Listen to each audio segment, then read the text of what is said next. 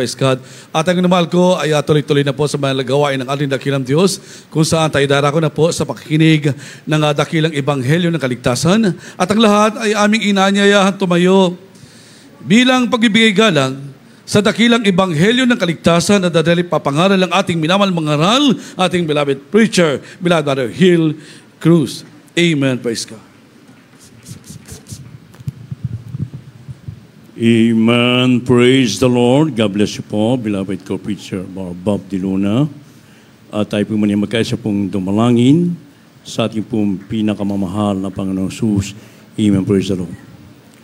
Opo, dakilang mapagpalang mabanal sa langit sa makapangyarihang pangalan mo. Aming pinakamamahal na Panginoong Kristo na pinagbubuklan ng mga biyaya sa panandalangin ng taong nilangisan, aming minamahal ginagalang na Pastor Evangelista, William Meda, and the Papa o God, Minsan pa kaming nagpupunan kapasalamat sa bawat yugto na aming banalagang pinagpalat ng isan, sa iyong patuloy na pagkiro sa aming kalagitnaan, sa iyong patuloy na pagkabadama ng matang si Pisensya. Patunay ka na sa amin sa tutuwi na, O Diyos, hallelujah. Subalit bago po yan, pa kami buong pagpapakumaba, amin ng kahabagan ng kapatawaran sa lahat ng amin nagawang pagkukulang, pagkakasala, pagsalansan sa malakalooban, patawan mo bawo sa amin, O Diyos, hallelujah. At sa bahaging ito na pagdadala ng Ebanghelyo ng Kaligtasan, na tunay sa ganang akin, wala po akong magagawa, mahal na Panginoong Sus. Ikaw po ang maglaga ng mga tamang salita sa aking bibig, daluyan ng spiritual kapala, at simpleng kapanaan namin tindihan, aming ibig ng mga baguhan, mga bisita madatihan, mga sa aming beloved webcast viewers, viewers, ito aming samot panalangin sa mga pangyarihang pangalan ni Jesus at aming pinagkakaisang sinasaway ang lahat ng hadlang ng kaaway, damas of at down and believe cast out from them and we bind the power of darkness on all of which we pray. Amen and amen. Hallelujah. Praise the Lord. Elbasa, praise the Lord. Purihin po ating pinakamamahal pa sa Kristo at unagit sa lahat. Ako na nagpapaabot po ng pinakamataas na pagpupuri, pagwalhati, pagdagal pagsamba sa ating pinakamamahal na Panso Kristo na pinagbubuklan ng mga pagkapala and we give double honor and respect to the man of God, to our dearly beloved Honorable Pastor Evangelist Wilmeda, the entire problem of God. We love so much Pamala Pastor and we always treasure remember the blessed memories and teachings of our dearly beloved Honorable Sam Pastor Linus Almeida, beloved Mama Dear, Greetings and respect to all the beloved children, beloved children, continue whole mother family here in the Philippines as well as in USA and in Canada at sa lahat ng ating mga kapamanggagawa sa lahat ating mga beloved uh, brethren, sa ating beloved viewers throughout the world, a pleasant afternoon and welcome to the Palmer God. Amen. Praise the Lord! Beloved sons of God, we are in a perilous time redeeming the time for the days are evil. As true children of God, we will be facing a lot of uh, tribulation, persecution, and because iniquity shall abound, the love of many shall wax cold.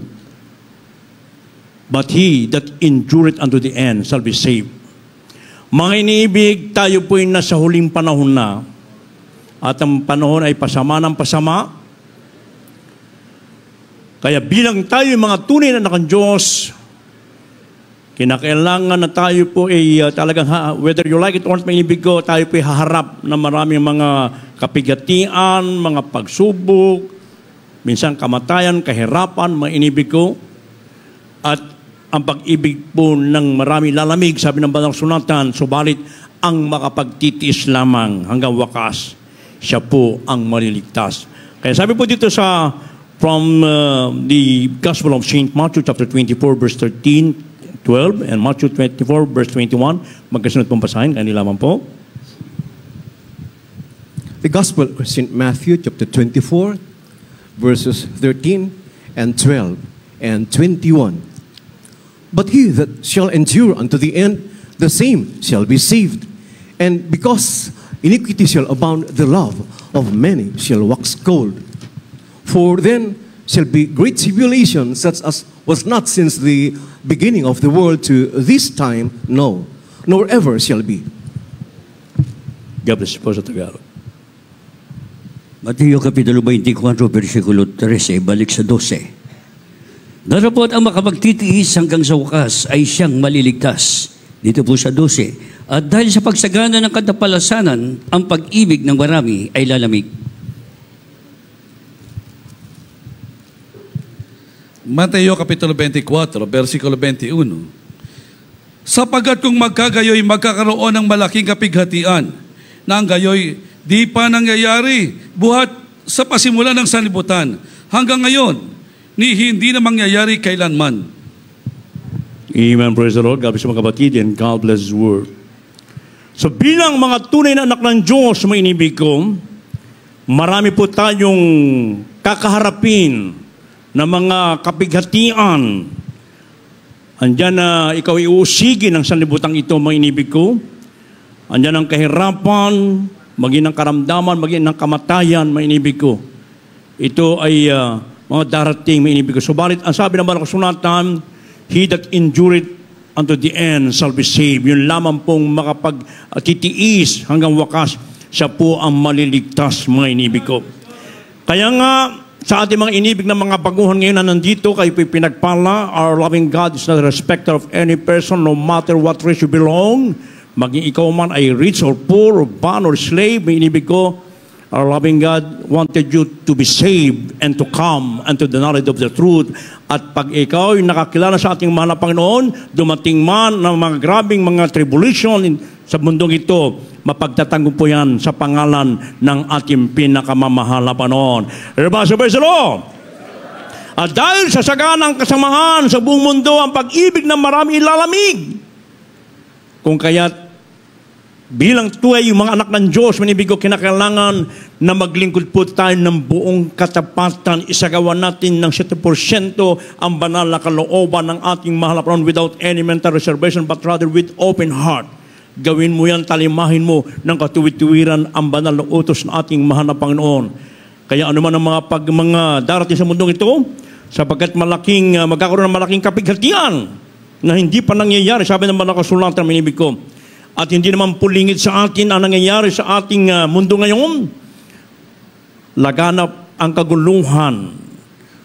Oh, the rumors of wars, the wars which one push button away anytime now, may ibig ko.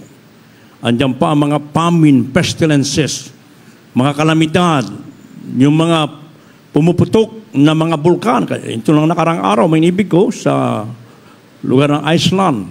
Pumutok yung isang bulkano doon, mga iniibig ko. Oh.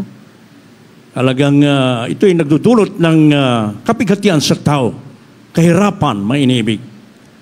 Andiyan pa mga lindol na umiikot mga inibig. At tayo nagpapasalamat ng lubos, bagamat nililindol ang ating bansa ng malalakas na lindol, na intensity, subarit nandun lagi ang proteksyon ng ating dakilan sa buhay sapagat dito ay merong totoong pastor ng ating kaluluwa, totoong propeta ni Kilaringan ng Diyos sa kanyang panalangin pag-aayon ng mga inibig ko, ito po'y nahadlangan yung mga grabing disaster na mangyayari sa ating bansa, mga inibig ko.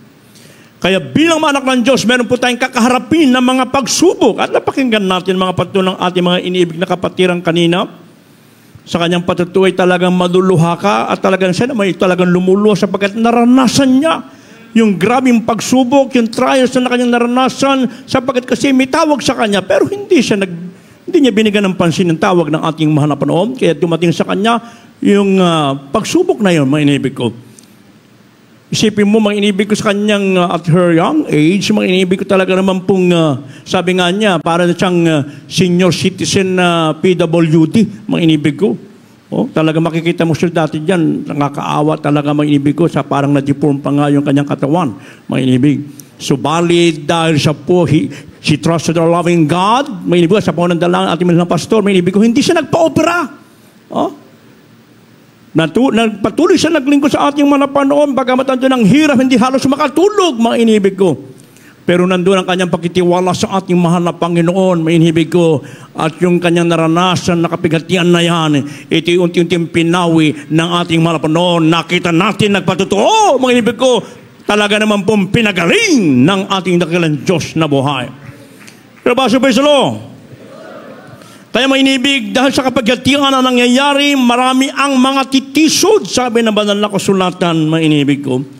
Na Biblia mismo nagsasabi, ako na magbasa dito sa John, sa Isaiah chapter 8, verse 15, And many among them shall stumble and fall and be broken and be snared and be taken. At marami, marami ang mga titisod doon at mga bubuwal at mga babalian at mga sisilo at mga huhuli. So ito po ay mangyayari, may inibig ko, sa mga Kristiyano pag tayo po ay hindi nagpahalaga, hindi natin iningatan yung ating kaligtasan, yung ating pananampalataya, may inibig ko, sa ating paglilingkod sa ating mahal na Panginoon. Ang sabi, marami ang mga titisod at yung mga bubuwal at mga babaliat at mga sisilo at mga huhuli. So dahil sa grabing kapigatian sa mundo, mga inibig ko, nang sabi ng banal na kasulatan, mga inibig, ang makapagtitis lamang ang siyang maliligtas. At bakit nangyari mga bagay ito, mga inibig ko?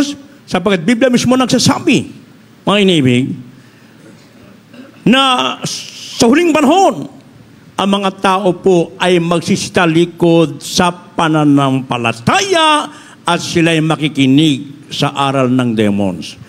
Ano sabi sa 1 Timothy chapter 4 verse 1? And this is a warning to each and every one of us, mga inibig ko. Babala ito sa atin. Kaya po?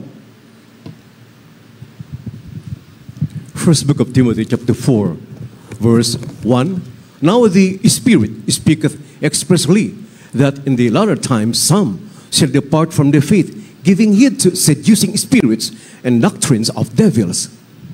God bless you Unang Timoteo Kapitulo 4, versikulo 1. Ngunit hayag ang sinasabi ng Espiritu na sa mga huling panahon, ang iba'y magsisatalikod sa pananampalataya at makikinig sa mga Espiritu mapanghikayat at sa mga aral ng mga demonyo. Amen. God bless kapatid. Everybody, praise the Lord! Atin mo ng palakpakan natin pinakamamahal na panahon. Yung malakas na palakpak para sa indak ng Diyos sa buhay. Everybody, praise the Lord! So tatalikod po pala ang ilan sa mga pananampalataya at makakikinig pa ng mga yung mga espiritu mapanghikayat. Oh? Yung aral ng demonyo ang kanilang papakinggan, may inibig ko. Kaya nga, laging babala na ating dearly beloved, honorable parents in the Lord, beloved children, may inibig ko. Na kung maaari, na inibig ko, na wag na tayong makikinig ng ibang radio station program o TV program, inibig ko sa ibang uh, sa ibang uh, mga istasyon sapagkat dito sa ating banal na gawain ay hitik na hitik na mga inibig ko ang tunay na mga himala na nagmumula sa ating pinakamamahal na Panginoon, hindi mo na kinakailangan pa na ikaw ay makinig sapagkat dati na tayong galing dyan sa mga turo ng ating nabasa kanina, mga inibig ko. Mga Diyos na ating nakikita, nakakala natin na ng Diyos ang totoo, mga inibig ko, subal sa ating mga panalangin na natili pa rin tayo sa ating makaramdaman, sa masamang bisyo, sa masamang ugali, andun pa rin ang kahirapan, wala pa rin kapayapaan sa pusitisipan, mga inibig ko. Subalit sang araw na papakinggan natin ang pangangaral ng propeta ng Diyos, ang totoong pastor ng ating kaluluwa, ating minamat ginagalang na paso evangelista will admit preaching the word of God with power and anointing. Lahat tayo na tumalima, sumunod, mga inibig ko, at sinagawang banal na kalooban ng Diyos, naranasan natin yung triple blessing na pangako ng Diyos, pagkapalang physical, material, lalo sige sa spiritual na pagkapala, mga inibig ko. Ano ba, subay sa kaya may inibig ko, ito'y babala sa bawat sa at hindi dito pinag-uusapan. Kung ikay umabot man ng uh, mahabang panahon, ilang dekada sa pagdating sa Diyos, so balit kung ikay na may makikinig sa ibang aral, may inibig ko, ay talagang uh, mapapahama ka. And it is a fearful thing to fall under the hands of the living God at maliligaw ang iyong pananampalataya. Maging, uh, kung maaari may inibig ko, iwasan na rin ang panonood ng mga teleseries sa, TV, sa telebisyon, mga inibig Ha? At kung nandito tayo sa banal na gawain ng ating mahal na Panginoon, wag na wag na wag natin gamitin yung ating cellphone na para mag-online pa rito. Imbes na makapasok yung ating inibig na makababayan, mga inibig ko, eh ikaw nandiyan sa sa banda, andito ko na nga, nag nag nag live stream ka pa. Oh? Kaya imbes na makapasok yung iba nating makababayan, mga inibig ko, ay dahil sa dito nag-live stream ka, wag na po dapat mga inibig ko. Nandito na po tayo, may inibig ko. Kaya nga napakaganda na tayo po ay laging nasa banal na gawa natin mga panahon sapagkat dito lating laging nadarama ang banal na espiritu ng ating dagalan Diyos na buhay. Kaya nga may inibig ko, after you have known the knowledge of truth, may inibig ko, at tatalikod ka pa, mga inibig, eh talagang ito po ay uh, babala sa bawas sa atin, may inibig, na ang sabi dito sa banal na kasulatan, ako na po magbasa nito sa 2 Peter chapter 2, verses 20 and 21. For if after they have escaped the pollution of the world through the knowledge of the Lord and Savior Jesus Christ, they are again entangled therein and overcome the latter end is worse with them than the beginning. For it is had been better for them not to have known the way of righteousness than after they have known it to turn from the holy commandment delivered unto them. So sabi mga inibig ko, sapagkat kung pagkatapos na sila makataka sa mga pagkahawa sa sanlibutan, sa pamagitan ng pagkakilala sa Panginoon at tagapagligtas ng Yesu Kristo, ay muling mahalubihuluhan at madaig ngayon ay lalong sumasama ang huling kalalagayan nila kaysa sa nang una sapagkat magaling pa sa kanila ang hindi nakakilala sa ng daan ng katwiran kaysa pagkatapos na makakilala ito ay tumalikod sa banal na utos na ibinigay sa kanila. Kaya nga minibig ko, panghawakan po natin yung ating pong kaligtasan, yung ating pananampalataya, mga inibig ko. Ibigay natin yung the best paglilingkod sa ating pinakamamahal na Panginoon sapagkat kung ikaw ibabalik pa sa dati mong gawin na masama, minibig ko, eh, talagang mapapahamak ang iyong kaluluwa. At totoo ang langit. Totoo ang impyerno, mga inibig ko. May mga kapatiran tayo na nag-testify, mga inibig ko, kung gaano kabaho, kung gaano kainit at talagang napaka doon sa lugar, sa lugar ng impyerno may inibig ko. Sapagkat sa kanilang pagpapabaya, sa kanilang paglilingkod, may ko. Oh? Napunta sila roon. Sila nagpapatutuo, may ko. Mabuti nga at na hin, kinuha pa sila doon sa impyerno, may. Kaya nga, ito'y warning sa sa atin. At kung gaano katulong impyerno, mas lalo ang heaven. Mas lalo, yun ang ating pupuntahan kung tayo po'y hindi maghihibago sapagkat sa tamang kapanahonan, aanit tayo mga inibigo. Panghawakan natin yung ating kaligtasan. At upang hindi po tayo mapunta doon sa lugar ng pagdurusa sa hell, sa impyerno, sapagkat yung makapagtitis lamang hanggang wakas ang madaligtas, ano po and what does the Lord require that we should do? Ano ang pinagagawa ng Diyos na dapat natin gawin? Ang sabi po dito sa Hebrews chapter 30, chapter 3, verses 12 and 13 and Ephesians chapter 5 verse 6. Magkasunod pong basahin kindly. The book of Hebrews chapter 3 verse 12 and verse 13. Take heed, brethren, lest there be in any of you an evil heart of unbelief in departing from the living God. But exhort one another daily while it is called today, lest any of you be hardened through the deceitfulness of sin the book of Ephesians, chapter 5, verse 6. Let no man deceive you with vain words, for because of these things cometh the wrath of God upon the children of disobedience. God bless po.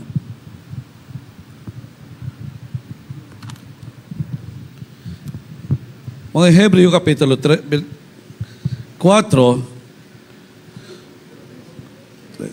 Kapitulo 3, versikulo 12 hanggang 13.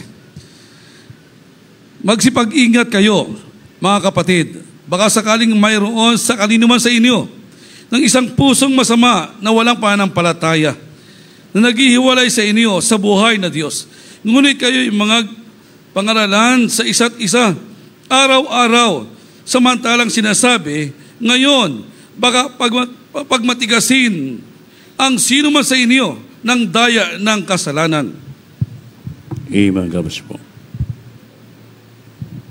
Efeso Kapitulo 5, versikulo 6. Huwag kayong madaya ng sino man ng mga salitang walang kabuluhan, sapagkat dahil sa mga bagay ito'y dumarating ang galit ng Diyos sa mga anak ng pagsuway. Amen. Praise the Lord. Ito po ang ipinagagawa ng ating mabait na Diyos na buhay na dapat nating gawin sapagkat totoo yung makapagtitis lamang hanggang wakas ang maliligtas, mainibig ko, na tayo pong lahat ay pinag-iingat at tayo po ay mag-aralan sa isa't isa. Kaya napakagala po ng fellowship. Mainibig ko, pag tayo po ay uh, meron fellowship, mainibig ko, dito ay nahugasan yung ating kasalanan na makapanginan dugo ng ating pinakamamahal na Panginoon. Pero wag mo naman sadyain kapatid, Ah, ganun pala, pwede pala akong patawarin ng Diyos pag dumadalo. Maggagawa ka na ng kasalanan. Huwag po, mga inibig ko. Kapag tayo binago na ng ating mahal na panoon, Ah, lahat tayo na binago, kinakailan lagi lumakad ng matuwid ayon sa kalooban lamang na ating dagkanan Diyos na buhay. Kaya pahalagaan po natin yung ating pong mga kaligtasan, yung ating pananampalataya, kaya yung ating pagdalo sa ating manalagawain, mga inibig ko ito po yung kahit tayo po ay minsan lilipas sa ibang lugar, mga inibig ko ay uh, okay lang po yan sapagkat ang ating kinakatagpo ay ang ating Panginoon ng Panginoon, hari ng mga hari, sapagkat dito ay binubuhos sa atin sa tutuina ang banal presensya ng Diyos na ito ay hinahanap ng maraming tao sa iba't ibang ng mundo, yung banal espiritu ng Diyos na na ating nararamdaman. Hindi nila ito nararamdaman doon. Galing tayo dyan dati sa iba-ibang mga sekta denominasyon, mga ibig ko. Hindi natin naramdaman yung katulad ng ating nararamdaman dito na pag ibinubusan ng ating mahal na Panginoon, ng kanyang espiritu, mga ibig ko, parang ang langit napakalapit na mga inibig. Parang andyan, mag, andun ang kagalakan, kasiyahan, yung mga problema mo, yung karamdaman mo, unti-unting pinapawi, pinagagaling ng ating pinakamamahal na panahon. Diba, sabi sa loob? Kaya maging ating mga gawain sa telebisyon, sa live streaming natin, may inibig ko, ay ating subaybayan po yan upang lalong lumaki yung ating pananampalataya. Sapagat lahat ng mga bagiti sa mag-iingat, anuman pong mga trials na nakaharap, magpatuloy po tayo. Minsan dumarating, mamatayan ka na mahal mo sa buhay, pero huwag mo namang i-question na bakit siya namatay. Ang Biblia naman nagsasabi, walang sino mang tao na pigilin ng kamatayan ng, ng mga tao may inibig, kundi ang Diyos lamang ang may control nito, may inibig. Kaya dumating man sa atin yan, magpapatuloy po tayo. Yan ay pinitulot ng Diyos upang kayo di maglingkod sa ating pinakamamala panahon. Sa mga naunang Kristiyano, manimig ko, hindi kailanman nag-wave ang kanilang pananampalataya. Ipinakakain sila sa mga leon. Ang kanilang mga katawang ginagawang sulo, manimig ko. Oh, pero kailanman hindi nag-wave ang kanilang pananampalataya, manimig ko. Kaya sa ating panahon ngayon, tayo pinagpalang lubos Sapagat tayo merong totoong pastor na nangalaga sa ating kaluluwa, may inibig ko, nakita natin a perfect example modest aside, may inibig ko talaga naman pong nakita natin yung pananampalataya natin bilang mahal pastor hang hanggang langit.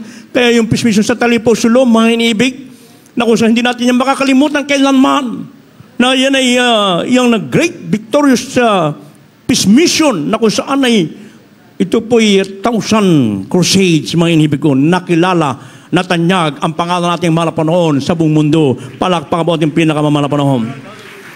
Kaya nga minibig ko, ang sabi pa ng Banal Kusuwatan, huwag kayong madaya ng sino man mga salitang walang kabuluhan sapagkat dahil sa mga bagay na ito dumarating ang galit ng Diyos sa mga anak ng pagsuway. So, wag na wag po tayong padadaya. Ang lahat magsabing praise the Lord sa mga mapanghikayat na mga salita. Minsan may katabi ka dyan, hindi mo alam, padala pala ng kahaway. Oh, kung ano mga sinasabi, bubulong-bulong. Oh, mamaya-maya, oo nga, oo nga, oo nga. Oh, mamaya, kasama mo na siya. Mainibig ko. Kaya kailangan maging maingat po tayo. Tayo po binigyan ng discerning spirit ng ating mahal na Panginoon. Binigyan tayo upang malaman natin kung totoo ba na kapatid mo siya, mainibig ko. Try every spirit, sabi ng banal na kasulatan, mainibig ko. So we have to meditate the Word of God day and night, mainibig ko upang magkaroon tayo ng uh, magandang pagtatagumpay na nagmula sa ating pinakamamahal na sapagkat kung ating mapagtitisan ang lahat ng mga bagay sa mundo ito, may pangako pa ating mahal na Panginoon. Ano ang promise ng ating Diyos sa buhay? Last verse, 2 Peter chapter 1 verse 11. Maganda na po mga awit manunagtog. Kindly po. The second book of Peter chapter 1 verse 11. For so an entrance shall be ministered unto you abundantly into the everlasting kingdom of our Lord and Savior, Jesus Christ. Amen.